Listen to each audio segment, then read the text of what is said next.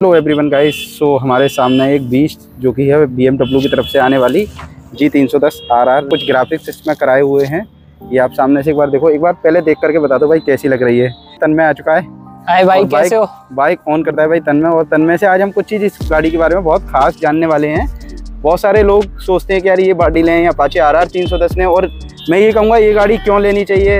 और are R three ten क्यों नहीं लेनी चाहिए? और किन लोगों को आर आर थ्री टेन लेनी चाहिए? और किन लोगों को ये वाली बाइक नहीं लेनी चाहिए? साथ में आते हैं टायर्स मिचलिन के पिलोट स्टिट उसके साथ में आते हैं रोड फाइव अपाचे बट। उसके साथ टायर महँगा वाला है ये समझ में नहीं आया।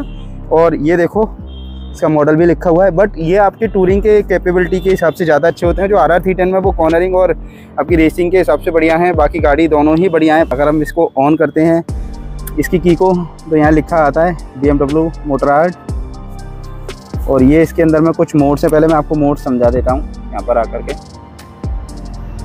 ये देखिए, इसके अंदर में राइडिंग मोड्स हैं। राइडिंग मोड्स में हम लोग जाते हैं तो अर्बन है रेन है। तो ये तो बेसिक सी बातें हो गई, आप गूगल में कहीं से भी सर्च कर लोगे, पता लग जाएगी ये इसका हेजर लाइट फेजर होता है। तो अभी मैं ऑन कर लेता हूँ सिर्फ़ साइड बिकॉज़ हम चलते हुए रोड पर हैं तो थोड़ा सा सही रहेगा। बाकी आज हम इसके ऊपर चार बातें कवर करने वाले हैं मैन सबसे पहली बात है भाई कॉस्ट ठीक है? कितने की ये पड़ती है और कितने की अपाचे आ रहा है तीन सौ दस पड़ती है। उसको साथ में नहीं रखा है बस इसी के ऊपर बातें करेंगे। कितनी इसका सर्विस कॉस्ट है उसके बारे में करेंगे बातें। तो अब मैं तन्मय से जानना चाहूँगा कि तन्मय कितना समय हो गया इस बाइक को अपनी बाइक को? इस बाइक को हो चुके हैं छह महीने टोटल और साथ में एक एक्सीडेंट भी हुआ था अच्छा। जो कि आकाश भैया ने शायद आप लोगों को अभी बताया नहीं है। हाँ एक्चुअल में एक क्रैश हो गया था वो तन्मय की गलती नहीं थी। कोई डॉग स्ट्रीट डॉग कोई सामने आ गया था हाँ, बट तन में सेफ़ है और वो राइडिंग गियर्स की वजह से सेफ़ है जो ये जैकेट इसने पहन रखी जैकेट कहीं से घिसी थी आपकी उस समय? जैकेट में कुछ नहीं हुआ। जैकेट में कुछ नहीं कुछ हुआ नहीं हुआ बस ग्लव्स फटे थे मेरे भाई ये देखो एक बार जैकेट दिखा दो। अच्छा इम्पैक्ट कहाँ ज़्यादा हुआ था उस समय? इम्पैक्ट तो मेरे इस हैंड पे ज़्यादा हुआ था बट प्रोटेक्टर ने बचा लिया चलो भाई तो ये प्रो टिप है अगर आप ऐसी कोई बाइक ले रहे हो तो यार एटलीस्ट का टेन या ट्वेंटी परसेंट आप अपने राइडिंग गियर्स पे ज़रूर खर्चा कर लेना क्योंकि गाड़ी तो देखो दोबारा बन भी जाती है और राइडिंग गियर से आपकी जान बच जाएगी इतना मैं कह सकता हूँ। ये ये अपने आप में एक सेटिस्फेक्शन है यार। ये सेटिस्फेक्शन अच्छा अगर ऑडियंस जानना चाहे इसका प्राइस कितना है खाली इस लोगों का? इस लोगों का सिर्फ़ लोगों प्राइस मैंने सुना है ऐसा दस हज़ार रुपए है अरे भाई भाई। सिर्फ़ लोगों का। किसी को वैसे मत बता देना। पैसा ही पैसा होगा कितनी चल गई अपनी गाड़ी? अभी चल चुकी है आपकी seven thousand four hundred and twenty एक बार आप देख लो गाइस ये चौहत्तर सौ छब्बीस किलोमीटर चल चुकी है। और इसमें रेंज वगैरह सब बताता है अभी फीचर्स तो मैं आपको बताऊँगा बताऊँगा। हाँ, हाँ। तो इसमें जब आप सर्विस कराने आते हो तो क्या सर्विस कॉस्ट आई थी फ़र्स्ट इसकी जो सर्विस कॉस्ट है यार वो भी मैं एक कौन में काउंट कर सकता हूँ क्योंकि यार बाइक भले ही उन्होंने छोटी बनाई है बट जो सर्विस कॉस्ट है यार पहली सर्विस कॉस्ट शायद सेवन थाउज़ेंड कुछ रुपीज़ है। हाँ हाँ हाँ। और सेकंड सर्विस यार बहुत ज़्यादा इसकी बारह हज़ार रुपये है जो कि आपका इंजन ऑयल और खाली इसका लेबर कॉस्ट अगर बात करें कुछ भी काम नहीं करने का इंजन ऑयल निकालना डालने का चार हज़ार कुछ रुपए का है भाई। ये एक मैं इसमें कौन में काउंट करता हूँ? जबकि इसी की जगह बीएमडब्ल्यू की जगह अगर पाची आ रहा है सी टेन की आप पार्ट शेयरिंग करो ऑलमोस्ट सेम है, सब कुछ सेम है, बस इलेक्ट्रॉनिक्स में छोटे मोटे परिवर्तन है, उसकी जो ट्यूनिंग है और जो उसका पंच है, वो थोड़ा सा डाउन है। बाकी सारा कुछ इसमें ऑलमोस्ट सेम लगा उसकी सर्विस कॉस्ट कुछ आपकी सत्तर अट्ठाईस सौ रुपये आती है, और सेकंड सर्विस भी इतनी आती है, इसकी सेकंड सर्विस बारह हज़ार की है। एंड थर्ड सर्विस अगर आप सुन लोगे तो अठारह हज़ार पाँच सौ रुपये के आसपास है गाइस जी हाँ जिसके अंदर आपके ब्रेक पैड के सेट ये दोनों अपग्रेड करोगे तो शायद मेरे ख्याल में सात आठ हज़ार रुपये के ब्रेक पैड का सेट है। बाकी इंजन ऑयल वगैरह और मिला करके और उनका कुछ डायग्नोसिस वगैरह करते हैं तो उसका भी हज़ार बारह सौ रुपये लगा लो। चैन क्लीन चैन लुक का वो शायद आठ सौ रुपये लेते हैं। आगरा में कुछ मेरे Apache R R three ten वाले दोस्त हैं उन सबसे बात की और उनका फीडबैक कोई सर्विसिंग का ज़्यादा अच्छा नहीं रहा मेरे हिसाब से तो। अपाचे का? हाँ हाँ। हम्म। अगर बी ज़्यादा चार्ज कर रही है तो मैंने इसकी बी की ये फ़ायदा देखा है। मैंने खुद देखी है सर्विस होते हुए जो कि लोग नहीं देख पाते हैं। एक बाइक में, एक बार एक बार में एक बाइक को ना अच्छे से तसल्ली से वो पूरी चेक करते हैं। मतलब हर एक एक चीज़ चेक करते हैं उसकी। हर एक एक फ़ंक्शन चेक करते हैं ताकि आपको कभी कोई दिक्कत ना आए। और एक प्लस पॉइंट मेरे को आर भी लगा रोड साइड असिस्टेंस जो कि बीएमडब्ल्यू की क्वालिटी तो टॉप नॉच है फिर उसमें। उसमें मैंने देखा था पढ़ा भी था उसमें चार दिन या पाँच रात के लिए होटल भी हमें मिलता है टैक्सी भी मिलती है। दैट्स ग्रेट दैट्स ग्रेट हाँ हाँ। मतलब ये इंक्लूडेड है उसमें? ये इंक्लूडेड है आर एस और तो आर एस आपको अलग से लेना पड़ेगा। एक चीज़ और मैं आप लोगों को बता देना चाहूँगा की ये जो मैं ब्लॉग शूट कर रहा हूँ बिकॉज़ अभी हमारे पास कोई सेकंड पर्सन नहीं है वरना हम दोनों फ्रेम में आपको दिखते। बट अभी मैं अपने हाथ से ही शूट कर रहा हूँ कुछ लोकेशन ऐसी है। अच्छा गाड़ी के बारे में आपको मैं कुछ चीज़ें बता देना चाहता हूँ इसके अंदर में रिवर्स इंक्लाइन इंजन आता है बहुत लोग अब बता नहीं रहे हैं। तो ये इंजन क्या करता है मैं आपको समझाता हूँ। जैसे और इंजन आपके फॉरवर्ड डायरेक्शन में काम करते हैं रिवर्स चलता है। सीन क्या है इनका? कि सामने से एयर इनटेक हो, उसका प्रेशर बढ़ाने के लिए इन्होंने उल्टा इंजन लगाया है। यहाँ से इसके एग्जॉस्ट गया है। तो इसको मॉडिफाई करना भी ईजी है। एग्जॉस्ट को अगर आप चाहें तो इसमें अंडर सीट एग्जॉस्ट भी लग जाते हैं। अगर आप मॉडिफाई से तो मैं रिकमेंड नहीं करूँगा। जो गलती बहुत सारे अपाचे और बीएमडब्ल्यू के राइडर्स करते हैं, मैं बता दूँ, सबको बता देता हूँ। एक फ्रेम स्लाइडर आता है, डंडी वाला। वो कभी मत लगवाना। हाँ उससे चेसिस अगर आपका गिरती है? गाड़ी चेसिस चला जाएगा। कोई नहीं ये मेरे ख्याल से मैंने जितना सर्च किया किसी यूट्यूबर ने इसका ज़िक्र नहीं किया लेकिन मैं बता देता हूँ। इसमें जो पत्ती लगती है ना करोल बाग में आप समझाता हूँ आप लोगों का जो पत्तन में बात कर रहा है पत्ती की वो लोग अक्सर करते क्या है इसके साइड से निकाल करके इसके ऊपर कनेक्ट कर देते हैं ऐसा कि यहाँ एक स्क्रैच भी आप लोगों को दिख रहा होगा। ये आपको दिखाता हूँ एक बारी।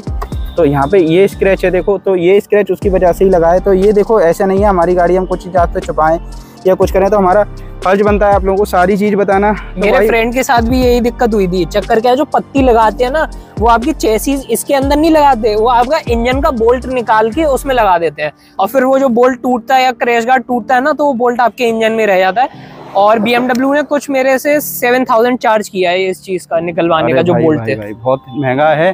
तो यही कहूँगा भाई जो कंपनी की एक्सेसरीज है वही लगाना। आप इतनी महँगी अगर आप गाड़ी चला रहे हो तो प्लीज़ यार कोई सस्ती मद्दी एक्सेसरीज पर मत जाना। बाकी का मैं आपको कुछ चीज़ें बता देता हूँ। इसमें आप फॉग लाइट ज़रूर लगा लेना। आप टूरिंग करते तो यहाँ से आप मत लगाना बनना ये मड गार्ड में हिट करने लगेंगी। इसके लिए आपके लिए यहाँ पर एक्सटेंडर आता है इन दो बोल्टों पर लगाकर। आप लगा सकते हो। क्योंकि बहुत से लोग यहाँ लगाते हैं। जब आपका गड्ढे में गाड़ी जाएगी तो इस पर टकराएगा। हम्म। तो और ऊपर से माउंटेन्स में जब आप चल रहे होंगे ना तो आपने देखा होगा आप हैंडल मोड़ते हो बाद में लाइट आती है हाँ, सामने। वो भी इशू रहेगा। नीचे लगाने में इशू सॉल्व हो जाएगा।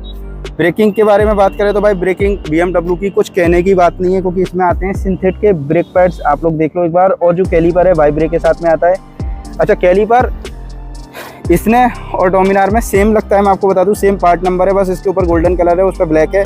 ब्रेक पैड सेम लगते हैं बट ब्रेक पैड इसमें सिंथेट आते हैं। अगर आप स्टॉक डोमिनार लेते हो तो उसमें आपके अंदर में नॉर्मल स्टॉक ब्रेक पैड आते हैं। उसकी ब्रेक पैड की कॉस्ट चार सौ होती है।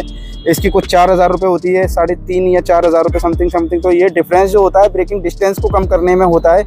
ये ब्रेक होते हैं फुली सिंथेटिक यानी कॉपर बेस बने हुए, वो कुछ रबराइज मटेरियल से होते हैं। बट हमने तो चेंज कर रखे हैं, पर मैं आपको बता रहा हूँ कि कहाँ क्या चीज़ की कॉस्टिंग कट करती हैं कंपनियाँ जिससे कि आपको वो पता लगे अच्छा BMW वालों को मैं एक चीज़ बताने जाऊँ और आपका ये चैन सेट कभी ख़राब हो जाता है गाइस तो इसके लिए आप बी से चैन सेट मत डलवाना, इसके लिए ब्रास कोटिक चैन आता है। वो लगवा सकते हो आप उसका लिंक भी मैं डिस्क्रिप्शन में दे दूँगा। अगर हम देखें तो इसकी लाइट यार बहुत सुंदर है। ये लाइट अपने आप में काफ़ी यूनिक है और इस लाइट का तो क्या ही कहना है जब पीछे से दिखती है ना ऐसा लगता है कोई डुकाटी पानी गाली बी फोर वगैरह चल रही हो। तो और आप तो... में से अभी बहुत लोगों को एक चीज़ और नहीं पता होगी ये प्लास्टिक का पार्ट दिख रहा है। हाँ हाँ। ये ऐसे ही नहीं लगा हुआ है। अच्छा। इसको बोलते हैं रैम एयर इनटेक अच्छा अच्छा। इससे क्या होता है जो आगे से एयर आती है ना उसको, ये उसको कंप्रेस करके इंजन की तरफ़ भेजता है। है। और इससे गाड़ी की पावर भी बढ़ जाती है ऐसा मैंने सुना है। बाकी का कितना प्रैक्टिकल है इस चीज़ के बारे में आपको अभी बताते हैं नोटिस करें जब आप हाई स्पीड में होंगे तो जो एयर लगेगा उसको कहीं ना कहीं नीचे की तरफ़ ढकेलेगा गाड़ी को ऊपर पंच ना करे। तो अच्छा फीचर्स है। बाकी गाड़ी भी अच्छी है। अच्छा ऑन रोड इसका अगर आज की डेट में प्राइस देखें नवंबर के महीने में 2023 में तो क्या प्राइस आ रहा है? आगरा में मैं देखूँ बीएमडब्ल्यू के शोरूम पे मैं गया था तो 375 कुछ का समथिंग का इसका ऑन रोड पड़ रहा था जिसमें आर वगैरह सब इंक्लूडेड था मैंने पूछा था। वो तो इसलिए भी बढ़ रहा है ना क्योंकि आप डेली से नहीं ले रहे हो क्योंकि हर स्टेट का ऑन रोड प्राइस अलग चलिए तो ये तो हो गई प्राइसिंग की बात सर्विस की बात मैंने आपको बता दी। सर्विस एक कौन की साइड पर मैं इसका काउंट कर सकता हूँ? क्योंकि देखो इंजन ऑयल भी उतना ही प्राइस का जितना आर आर थ्री टेन में ठीक है? और सर्विस कॉस्ट है। वो थोड़ा सा यार मतलब चार हज़ार चालीस सौ रुपये जो खाली इंजन ऑयल रिप्लेस करने की है। तो वो अलग है बाकी आप इसमें टोटल बॉडी क्लीन कराते हो तो उसका चार्जेस वगैरह वो अलग से करते हैं आपको।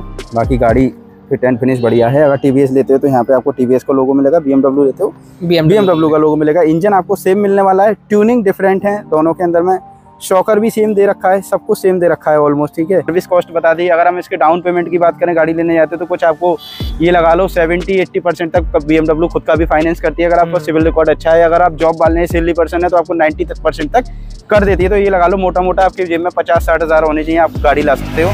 पर मैं ये कहूँगा अगर आप फाइनेंस करा रहे हो तो भाई डेढ़ लाख रुपए कम से कम डाउन पेमेंट देना जिससे कि ई आपका छोटा बने और आपका ब्याज कम चार्ज हो। अब आ जाओ गाइस फटाफट आ जाते हैं इसके पर्पस पे। पर्पस पर्पस क्या है? हाँ। देखो Apache R R three ten में आपको फीचर ज़्यादा मिल जाते हैं। मेरी पसंद अलग है आपकी हो सकता है अलग हो। जैसे फीचर ज़्यादा पसंद है वो Apache R R three ten ले ले। जैसे ब्रांड वैल्यू पसंद है वो ये ले ले ठीक है? अब दूसरी बात आ जाती है आपकी सिटी ठीक है? ज़्यादातर लोग सिटी में चलाते ज़्यादातर ज़्यादातर टाइम तो मेरे ख्याल से अभी सिटी में मेरे को माइलेज दे रही है ट्वेंटी फोर का और हीटिंग बहुत है भाई। हीटिंग इशू तो बहुत है। जो तन्मय ने बोला वो हीटिंग का एक इशू ये है। इसमें कोई सेंसर में प्रॉब्लम आ गया है। कंपनी ने जब बोल रखा है कि एक साल में एक बार ही सर्विस होती है दस हज़ार किलोमीटर पे अभी टोटल सात हज़ार चली है और मेरी एक ट्रिप करके आया हूँ आप लोग को तो पता ही है। तो मेरी ये समझ में नहीं आ रही अगर बीएमडब्ल्यू ने दस हज़ार बोल रखा है सर्विस का तो दस हज़ार से पहले कूलेंट खत्म हो गया बताओ इसका। इतना तो बीएमडब्ल्यू को लेके चलना चाहिए या तो आप सर्विस छह हज़ार पे रख दो तो छह हज़ार पे करा लें। अब आप दस हज़ार पे बोल रहे हो इतनी जल्दी इसका कूलेंट भी खत्म हो गया। हाँ ये कौन में काउंट करना पड़ेगा भाई? यार, इतना ही कहूँगा कि इसमें सर्विस मतलब अनलिमिटेड नहीं होती है बीएमडब्ल्यू के अंदर में, जो वारंटी होती है, वो भी अनलिमिटेड नहीं होती, वो भी लिमिटेड ही होती है। तो मेक श्योर के यार, गाड़ी आप सिंगल हैंड ही रखना। गाड़ी बहुत बढ़िया है लुक्स बहुत बढ़िया है फिट एंड फिनिश बहुत बढ़िया है, भागती बहुत अच्छी है। खाती भी ठीक ठाक है, इतना कोई ज़्यादा कम माइलेज नहीं है। अगर आप इसको ईजी चला रहे हो सेवेंटी एट्टी नाइन्टी हंड्रेड तो आपको थर्टी ईजी दे देगी, कोई कम नहीं है माइलेज इतना। और मैं तो इससे यकीन मानना है कि अगर आप चाहते हो अगर आप कमेंट करोगे तो भाई इसके ऊपर मैं डिटेल ब्लॉग बनाऊँगा इसका माइलेज निकाल के दिखाऊँगा। आपको जो ओरिजिनल माइलेज अभी तक किसी ने नहीं दिया है सर हम लोगों ने डोमिनार से ट्रूथ वाला निकाला था वही इससे निकाल के देंगे। मुझे एक्सपेक्टेशन है मैं 40 प्लस निकाल पाऊँगा इससे माइलेज अच्छे से अगर मैं चलाता हूँ बाकी गाड़ी बहुत बढ़िया है। सर एक प्लस पॉइंट मैं भी बोल सकता हूँ कि 10,000 जैसे अपनी बजाज डोमिनार की सर्विस लॉन्ग टाइम में आती है वैसे इसकी भी आती है तो ऐसा कोई इशू नहीं है एक बार सर्विस करा के आप एक साल या दस हज़ार किलोमीटर जो भी पहले आ जाए आप करा सकते हो। तीन लाख पचहत्तर हज़ार कुछ रुपये इसका ऑन रोड प्राइस आता है तो वो कोई टेंशन वाली बात नहीं है। इतना प्राइस ये जस्टिफाई करती है।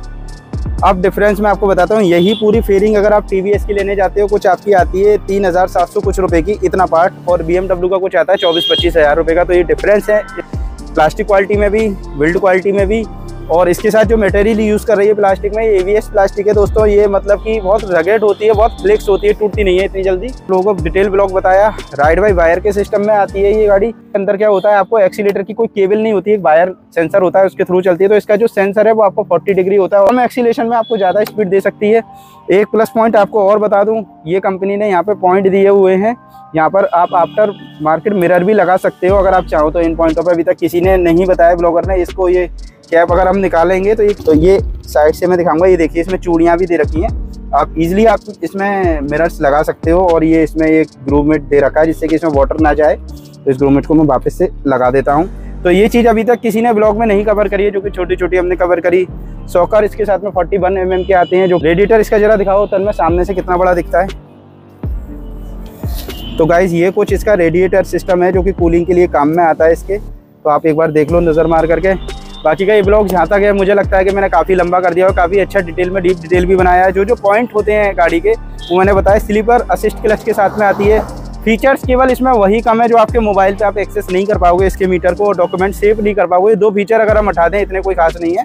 तो बाकी सारे फीचर्स इसमें कूल एंड टेम्परेचर बताता है। ऑटो रीडिंग है माइलेज है डिस्टेंस टू एम है मतलब कितना रेंज आपके पेट्रोल में चलेगी, ये एक्यूरेट आपकी स्पीड पर डिपेंड करता है। अगर आप अप डाउन करते हो तो ये बिल्कुल एक्यूरेट नहीं रहेगा किसी भी गाड़ी के अंदर।